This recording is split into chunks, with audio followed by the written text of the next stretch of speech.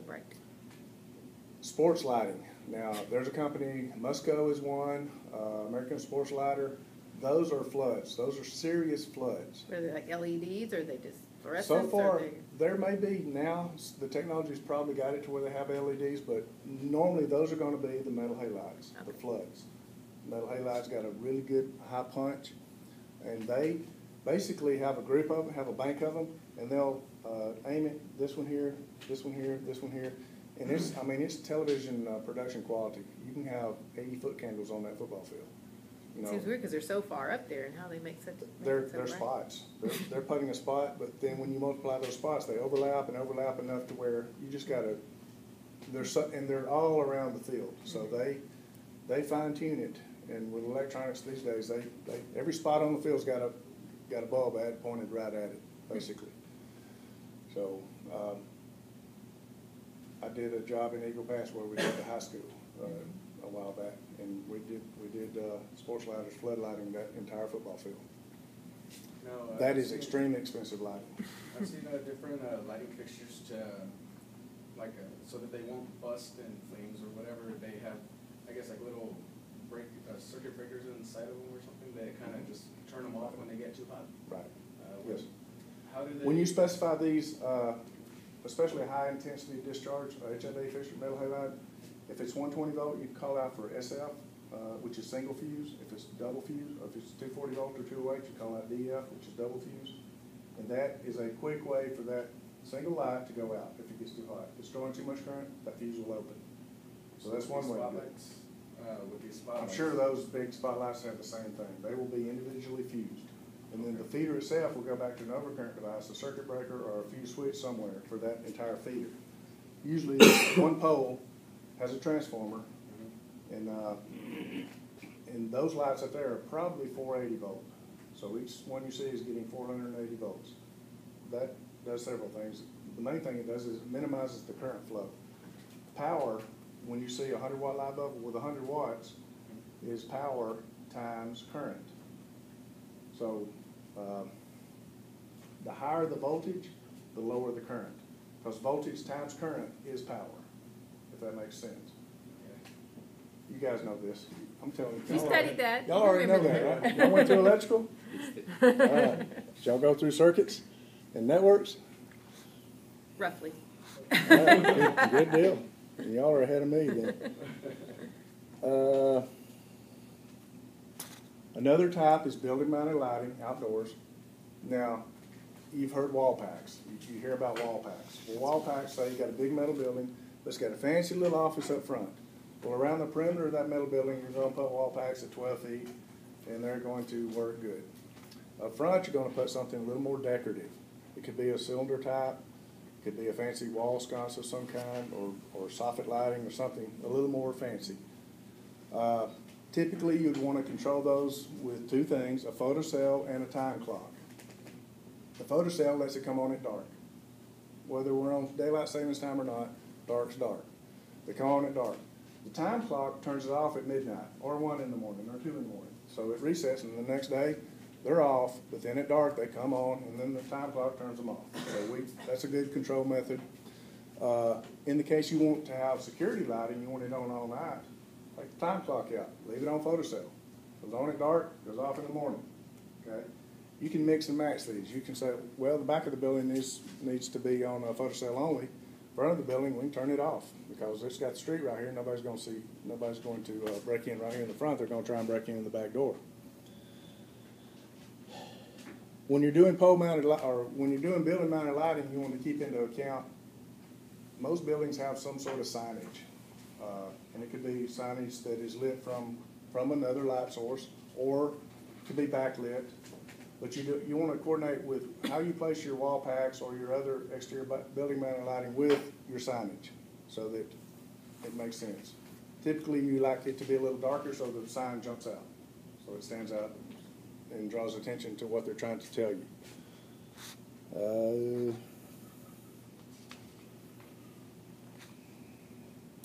The third type of outs- outside lighting is, talked about poles, talked about buildings, how else are you gonna light outside? Quick, Solar quick, power. quick, quick, where are we gonna put them? they're not on a pole, they're not on a building, where are they? Yeah. In the ground. They're in the ground, shining up, okay? These can be above grade, or they can be in grade. You can have a fixture that you can walk on or drive a car over, but it's still shining up at, say, a flagpole, the building, uh, landscaping. Those are very expensive lights. Uh, Gardco makes some, uh, which, that's okay. Very expensive is okay, as long as the owner wants that and they're willing to pay for that. But if you have a budget, you, you tell them early, well, these are, these are extremely expensive fixtures. If you still want some, then good. Even the flat ones that are in grade can be aimed, where you can aim that a certain amount, to where if you have the flagpole over here, or flags, or a facade that you want to light, you can aim that fixture at that. Uh, But typically, what you'll see is above grade, stick, stuck in the ground or mounted on a base, and it's, it's got a pivot, some sort of yoke mount or something, and you can aim those at the building, or at signs, or at uh, landscaping. No. Controlled the same way. Uh, what about those lights that you see uh, downtown by the American Bank Center? You have like those fountains with uh, shooting water all over the place You and can, got the you can lights. put fixtures inside the uh, fountain, yes, to shine up. Mhm. Uh, They're, we spec them sometimes, and those, that's, uh, Pretty. Uh, Yes, sir. Absolutely. Yes, sir. You want to make very sure that also, on top of having that one powered, it needs to go through a GFCI to avoid, uh, or to minimize shock, electric shock to humans. Uh, we didn't get into GFI very much, but GFCI, ground fault circuit interrupters, any receptacle that is near water, within six feet of water, it better have a GFCI. That one back there, it's got one. Uh, The one on over, the other side of the microwave is or is not, I can't tell, but once, once you get six feet away from water, you're, by code, you're okay. A lot of the things that we do, code dictates it. If code says do it, I do it. If it's vague, I still do it. If, if it says, you might, sometimes you do it, but I do it all the time to be safe. Because the number one thing of an engineer and an architect is to protect human life. Anything you design is to protect human life. Okay, that's number one. After that, make it look good, make it work good, make it last a hundred years. Uh, okay, I got about five minutes. The last thing, last sheet, guys, then we talk about football. Wait a minute, I'm in Texas. Is, it- is it whoop, or is it hook 'em? No, Hook 'em. I like F. Texas, I like Texas football. I don't necessarily like Johnny football that much, but Alabama took care of him the second time around. We figured that boy out. Uh, The last thing to talk about in lighting is emergency egress. If the lights went out right now, if we lost power to this building right now, would we be able to see how to get out of this room? Better. Yes, yeah. Switch, Yeah, back better. exits, the, the light. See that bug out on the wall, at that column? The spotlight size there. That's, that's your emergency egress, uh, light. That is supposed to, uh, energize when you lose power. Now, there's different ways we can show emergency egress. Uh, that's a good method. I call that the, the bug eye or the frog eye. If you had an exit sign in this room, it may also have those on it. You can have an exit sign that not only shows you how to get out of the building, so that's the exit, but it's also got the bug eyes on it. Uh, By code, when you leave a private office and you step out into the corridor, you need to see an exit sign somewhere. If you don't see an exit sign, the engineer just messed up. He's got a problem.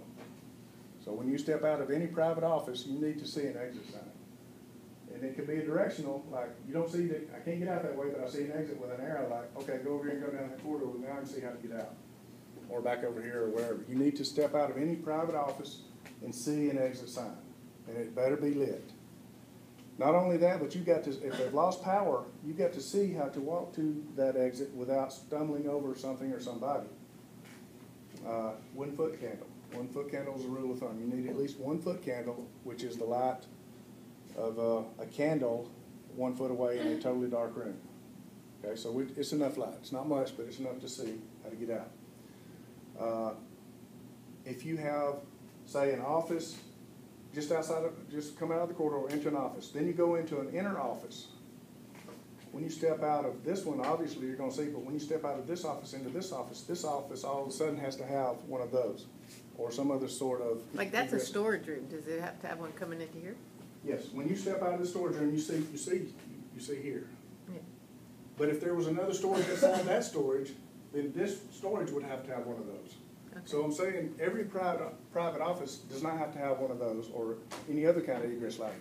But when you step out of that private office into a private, a public area, you have to see how to get out. So is this room necessary to have it? Well, Yes. because of that. Yes, Th- uh, this is not a private office, this is a classroom. Uh, conference rooms, break rooms, anywhere where you're gonna have, likely have more than one person, you wanna have an egress light. Private office, one person normally. You may have two in there, but normally it's one person. So those aren't required, but you do have to step out into a space that is lit and You showing. can tell how to get out. You Tell how to get out. Uh, Bug eyes, exit signs. Another way, if, uh, a lot of the higher end restaurants and, and some places just don't like those, they just, they don't like those. So how else can you light, how else can you do egress lighting? Can you say it, Diego? About the, the other way to do egress lighting? Or emergency lighting? I thought I heard you say it. I don't think so. Uh, What you would do is, these have uh, ballast, these lamps up here have ballast, fluorescent ballast. Well, they have what they call a battery ballast, so that when you lose power, that takes over, okay? What do you have to do to let that know that we really lost power? You didn't just turn the lights off, we really lost power. What do you have to do? you have a sensor? You have to have a voltage sensing relay, but you also have to pull the hot, an unswitched hot to the, to those lamps that have that emergency ballast. So it knows the difference between he just turned the lights off or we really lost power. Otherwise, you've got false tripping and you're, you're burning your ballast, it doesn't work that way. So any emergency fixture that has, say, a grid troffer or a standard uh, two by four, three lamp, four lamp, whatever, in addition to the switch leg, it'll have a switch and a neutral, but it'll also have an unswitched hot one twenty volt or two seventy-seven volt. A lot of lighting in big buildings is two seventy-seven, this may be two seventy-seven, I don't know. So you have to have those two, two wire, you have to have the additional unswitched hot to every egress light that has an emergency ballast.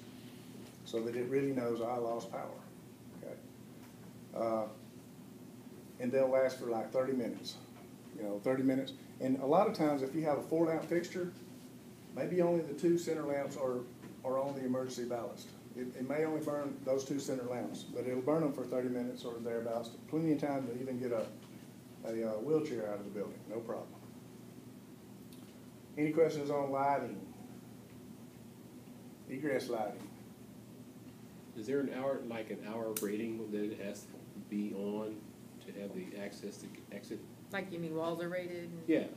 Is, is there a standard, uh, time range that it has to cover?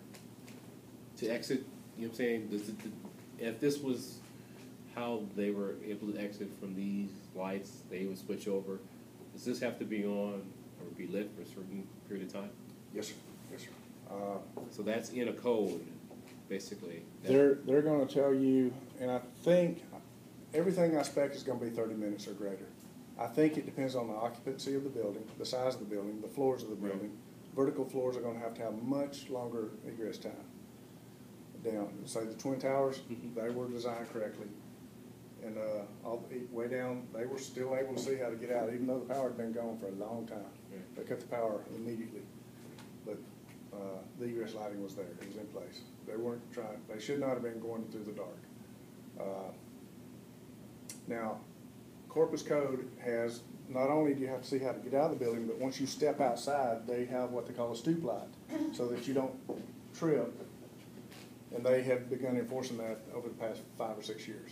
You have to see out of the building, and then interconnected with that exit or egress lighting, I've also got a, a battery fixture outside, either in the soffit or on the wall by the door, by all exterior doors, so that you, you don't stumble over something once you get outside.